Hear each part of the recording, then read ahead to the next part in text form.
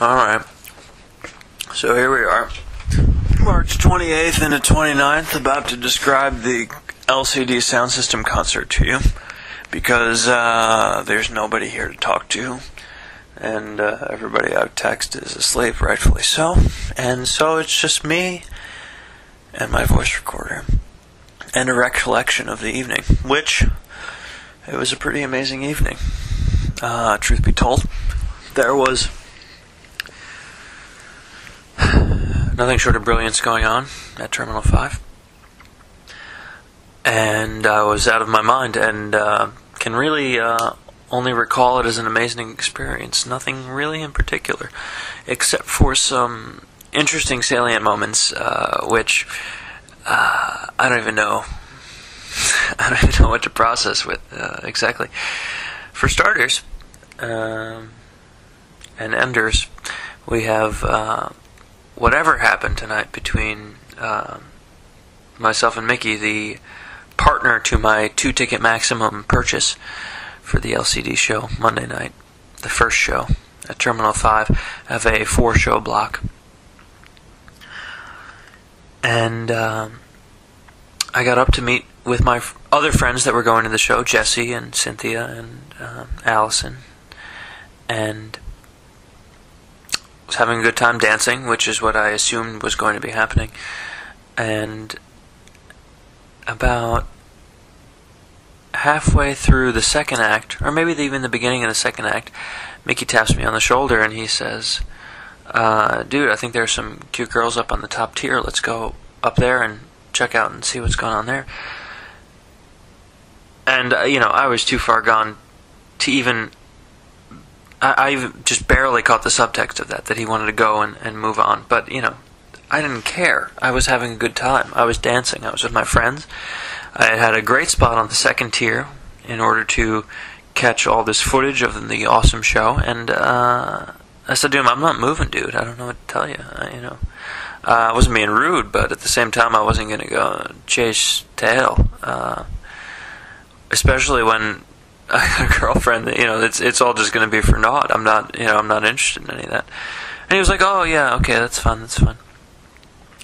And uh, and you know, I didn't I didn't think much about it, but uh, he went. He had a cigarette. He came back, and and apparently he was tapping me on the back of my on my back the whole time during the third act. And my, while I say acts, it's because uh, LCD uh, James Murphy decided that he wanted to break the show up into three separate sets, and. Uh, the third act went and it was amazing and and and about five minutes to go I turned around and Micky was there and and uh, you know he's saying he's wasted and whatnot and and uh, he starts telling me yeah I've been tapping you on the back the whole time and I was like I don't know what what are you talking about? I, I really had no recollection.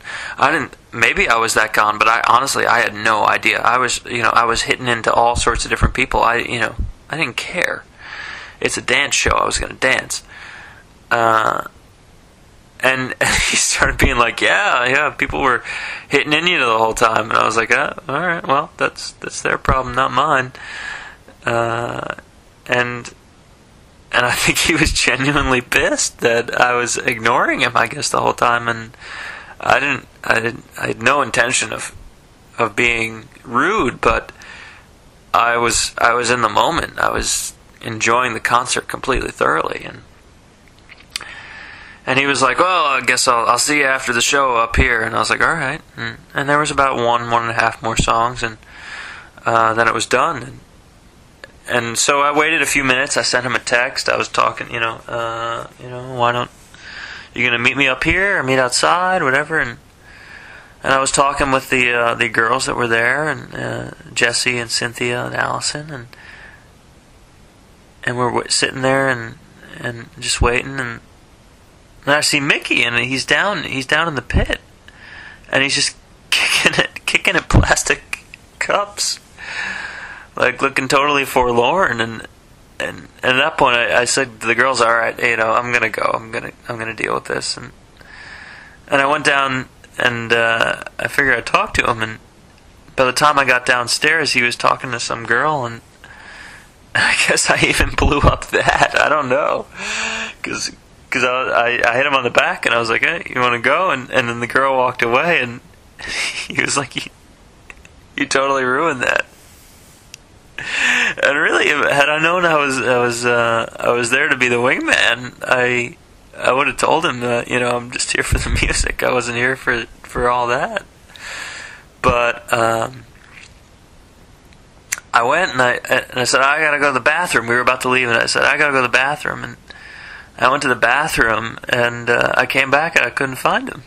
I, couldn't find him at all. And I went and just kind of stood around the pit and you know looked over at the cups and everything like that, and just kind of took in the whole scene. And then I left, and I I don't know where he went. he was obviously upset at me, but uh, you know, I don't know. I don't know what to tell him. I was I was into it. I wasn't I wasn't into the I wasn't into looking at the girls. I was into enjoying the show. And I, texted him before uh, you know I left Manhattan. I said, you know, man, if you want to meet up in Brooklyn, let's meet up. But I never got a text back from him or, or really anybody else. So here I am in my room. The show itself was uh, phenomenal. I mean, uh, it was uh, it was the first show I went to where I feel like uh, it's all just a blur. I don't I don't remember I don't remember defined parts. You know how there's only a couple instances where I remember song choices and how and how he choose to play songs and if they were good choices or bad choices. But all in all, it was just it was just about the dancing and the enjoyment, and you know